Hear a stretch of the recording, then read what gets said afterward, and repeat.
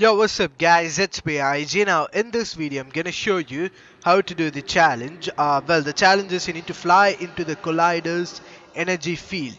Now land over here. So once you land over here just get inside this thing. There you go. So this is what you have to do. So this is a whole challenge and yeah your challenge will be done after you do this. And yeah everyone that's it for the video. I'll see you guys in my next video. Until then goodbye.